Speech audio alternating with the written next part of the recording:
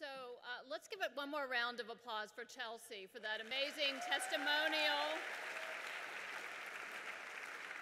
Today we've heard uh, inspiring stories from folks like Chelsea and from the extraordinary young people earlier today. We've heard experts and academics, we've heard political leaders talk about the uh, opportunity nation that we must create together.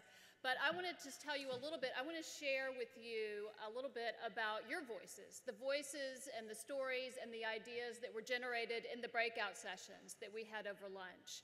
Uh, and your voices are actually what will be key to advancing this movement of opportunity. And uh, it will not be sufficient to have just the leaders that are speaking from this podium that are behind this, but it is imperative and necessary for us to engage the voices, the creativity, the muscle, and the perseverance and the passion of our citizenry. And you all represent that. You all represent the leaders that will carry us forward. So let me tell you just a little bit about the breakout sessions. How were the breakout sessions? Did everybody? So there were 10 breakout sessions. They're listed in your program. Everything, covering everything from how do we engage the media in this cause to how do we fight gridlock in Congress to advance legislation and public policy. And so let me just tell you a couple of the ideas, just a few of the ideas that were generated. Uh, one of the ideas was we must move from a binary conversation about too little government or too much government. We must talk about public-private partnerships we must talk about coming together and how the three legs of our stool will work together to form the bedrock of opportunity and optimism and possibility for America.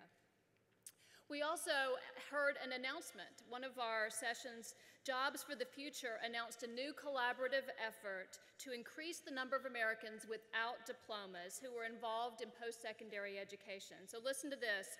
They have committed that they will put 40,000 people through these pathways in five states. So give them a round of applause. By 2014,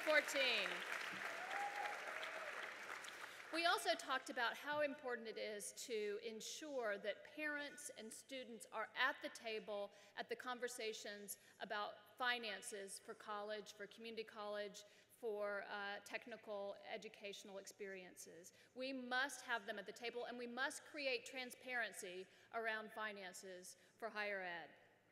We also talked in, in the session that I was in about how volunteering can be a pathway for, uh, for opportunity and also how volunteers can support this effort.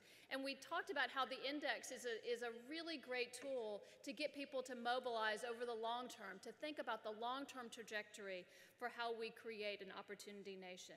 We talked about creating a national Kickstarter for civic projects and uh, we also talked during our sessions about the media, how the media is more interested in individual stories than they are about problem solving. But we must use those individual stories, the kind of stories that we've heard today, to help them see and to tell our story of programs that work and how we can scale those programs.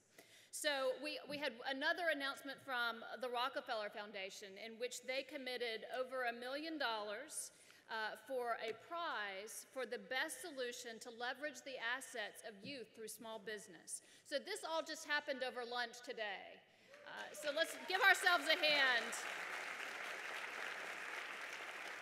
We talked about transforming uh, technical education, making it the prestigious pathway that it needs to be, making it more effective and efficient, and, uh, and a whole host of other ideas. And perhaps most of all, we had passionate youth talk with authentic voices about how they're going to use a council of young people to create change across this country.